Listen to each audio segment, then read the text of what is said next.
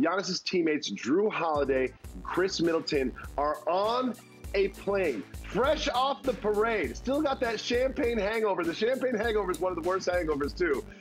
Fresh off the parade, still smelling like champagne. They are on a plane flying to Japan to participate in the Olympics with none other than their previous finals foe, Devin Booker. They are available to play Sunday morning against France for Team USA. What do you think about this tight turnaround, fresh from the parade, fresh from the finals, going straight to Team USA? I'm happy for each of those guys who continue to ascend in their careers in different ways. Devin Booker, as a young player, had a 70 point game, a 59 point game, and in his first postseason was outstanding, leading the Phoenix Suns to the finals. Nobody can say that they predicted that they would be there.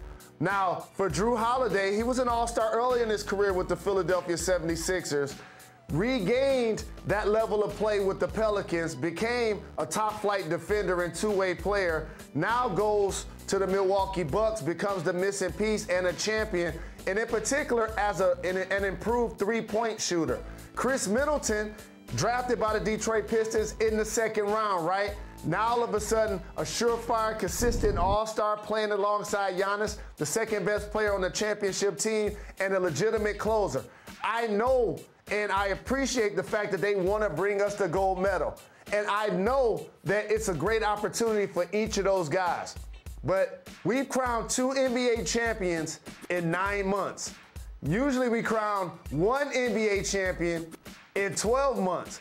The regular season calendar is about to get reset, which mm-hmm. means training camp is going to basically start happening late September, early October, and then we're going to have a full 82 game season, not a condensed 72 game season. So, what I hope we're not hearing, which I believe we may be hearing as the season starts to progress, is low management for all three of those guys because they decided, and rightfully so, it's a great opportunity to go play for gold. And by the way, we actually need them.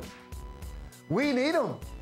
We need them. Y'all saw the early exhibitions. Y'all saw players be in and out of the lineup due to COVID protocol. We actually need them. So selfishly, I want the gold medal as an American. So yes, I would love to see them in uniform. But if I was overseeing the Bucks or the Suns, I would want those guys to actually be resting and getting ready for the next season.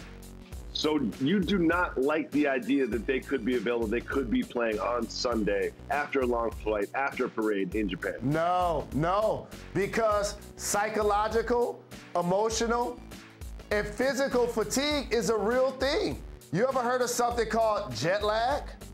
Didn't you just say that they were going to Tokyo? That ain't mm-hmm. a short flight. And today's Friday. And didn't you say the game is Sunday? Morning. Huh. And so again, I'm happy that they're going to help us win gold. But if I was an owner of one of those teams, I would hope that those guys would be resting and getting themselves ready for the next season. But as Team USA, we need them. We really need them.